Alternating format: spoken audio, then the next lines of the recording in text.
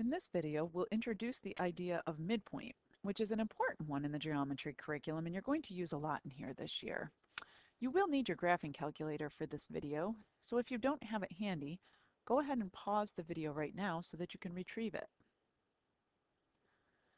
And remember, as you watch the video, if I say something that doesn't make sense or that you need further clarification on, pause, rewind, replay the video, or jot yourself a note in the margin so that you can remember to ask your question when you come back to class.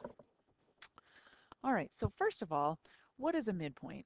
A midpoint is a point that marks the exact center of a line segment.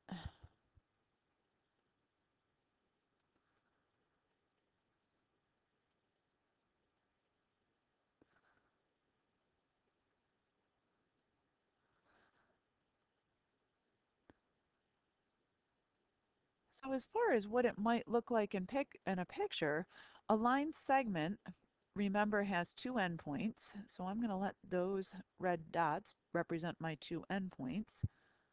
And those two red points are the endpoints for that purple line segment.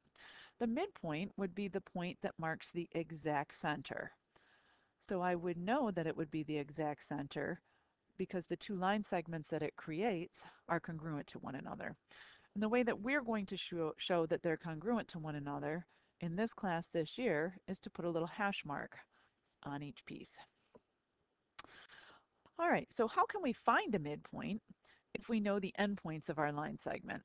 Well, I'm going to go down here on this little graph and I'm going to say, let's just suppose we want to find the midpoint of that line segment that's determined by those two blue endpoints.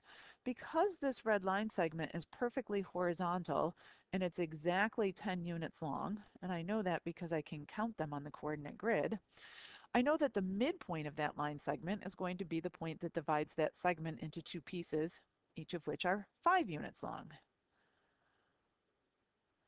So again, if it's a horizontal line segment where I can count, or a vertical line segment where I can count, then it's fairly simple. So my first option is if the line segment is horizontal or vertical, count it. However, this is only going to work when the line segments are horizontal or vertical.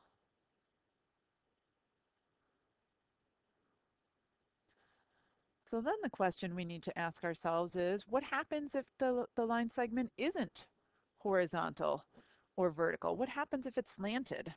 Well, in that case, we have a formula that we're going to use. And the formula says to find the midpoint of any two line segments, we can take and add the two x values of the endpoints together and divide by 2, and take the two y values and add them together and divide by 2. So officially, that is what the midpoint formula says. Now I'm thinking adding two things together and dividing by 2 is another name for simply finding the average. So I might also think about the midpoint as being the average of the two x coordinates and the average of the two y coordinates. These two formulas are two different ways of saying the exact same thing. I don't care which one you use. Either one is perfectly worthy. They're going to get you full credit if you choose to use it. What I would recommend is that you decide on the one that you think is going to work the best for you and then stick with that one and use that one every time. All right, so let's go ahead now and take a look at how we might use this to solve some problems. In this first example, it says find the coordinates of the midpoint for a segment with the given endpoints. Now, it's important here that we're trying to find the midpoint. When we're trying to find the midpoint, we're going to use the midpoint formula, always.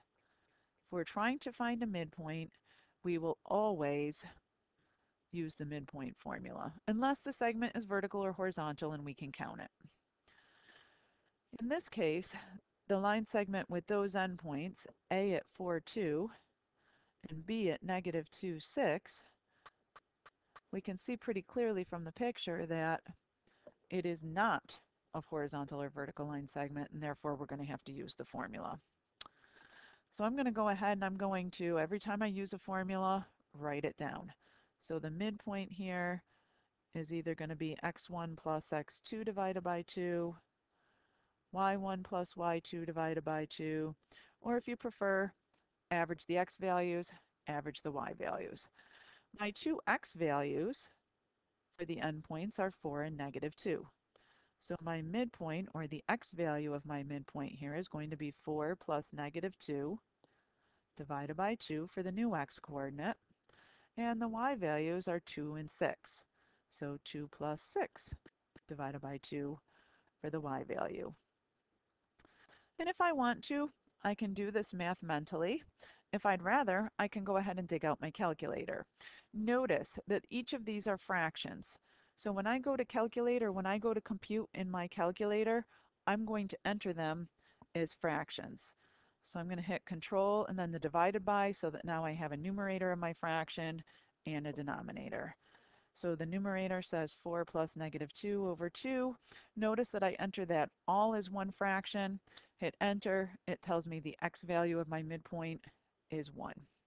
And then I'm going to go ahead and I'm going to do the same thing for the y part of the coordinate. So that was 2 plus 6 divided by 2, enter the entire thing. The y part of my coordinate is 4.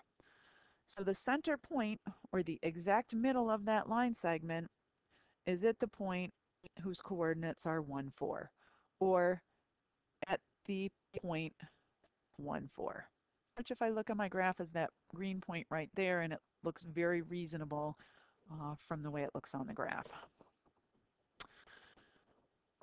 Okay, letter B says find the midpoint of the line segment whose endpoints are at 1, negative 9.2, and at point B whose coordinates are negative 5, negative 4.7. Due to the fact that these are decimals, these two points would be significantly more difficult to graph in the picture. So this is where the midpoint formula is really, really, really useful. And again, I can either use the x1 plus x2 divided by 2, y1 plus y2 divided by 2.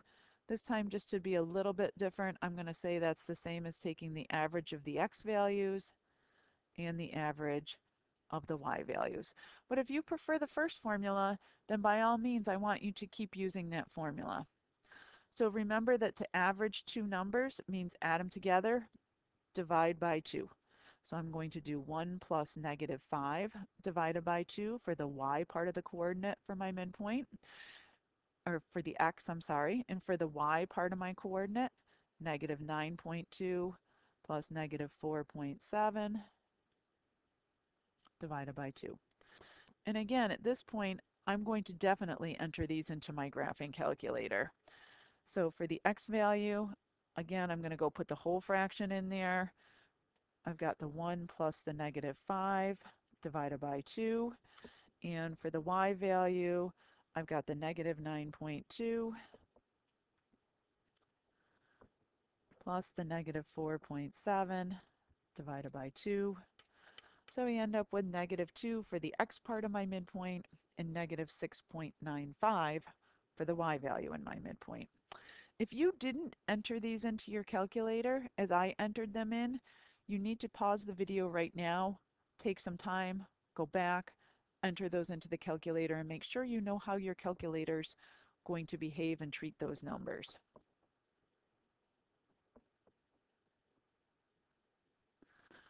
So the midpoint is the point whose coordinates are negative 2, negative 6.95.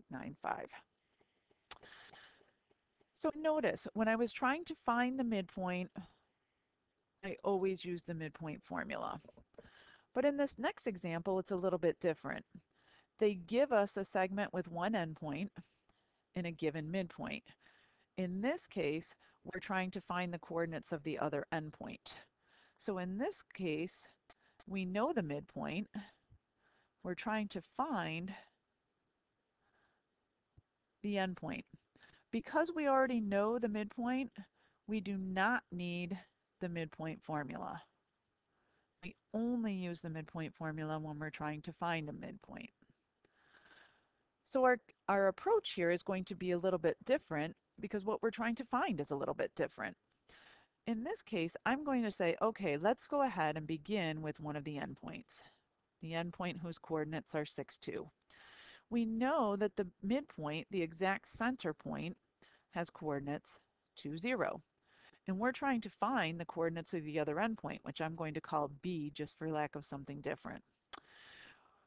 Well, if M is exactly in the middle, then it must be the change in I had in the x values, so going from 6 down to negative 2, or in other words, a net change of negative 4, must occur on the other side of this midpoint, or it won't be the center, it won't be the exact middle. So 2 subtract 4 is negative 2, and that's the x part or the x value for my other endpoint. So again, the whole idea with this is that we keep the change exactly the same. And if I take that same approach with the y values and going from 2 down to 0, I'm subtracting 2. And in order to keep this guy in the exact center, I need to have the exact same thing happening on the other side. So I'm going to go ahead and subtract another 2, leaving my new endpoint negative 2. So the coordinates of my endpoint here are negative 2, negative 2. In the interest of time, I'm not going to verify this on the graph, but you could go ahead and graph those three points and it, you would convince yourself that point M is indeed the midpoint of segment AB. I'm going to take the same exact approach for this second problem, but I'm going to work through it a little bit quickly, uh, quicker now because we've done one. So P, one endpoint has coordinates 7, 3. The midpoint in the middle has coordinates 2, 1. And this time maybe I'll call the other endpoint C. And all again, again, all I'm going to do is look at the net change. And going from 7 down to 2, it was a net change of minus 5. In order to keep m in the middle, I want to have exactly that same change on the other side of the midpoint. So that makes my new x value 3. In moving from 3 to 1, it was a change of negative 2. I want to have that exact same thing happen on the other side of my midpoint, making the coordinates of my new endpoint negative 3, negative 1. All right, if you have questions, please pause, rewind, rewatch the video, jot them down in the margin so that you can remember to ask about them when we come back to class. I do want you to take some time and in your own words summarize the key ideas from this video that you're going to need to be successful in dealing with questions on midpoint and then see what you can or see if you can apply your newfound knowledge in order to solve the two questions on the next page. As always, thank you for the gift of your time and watching and paying attention to the video.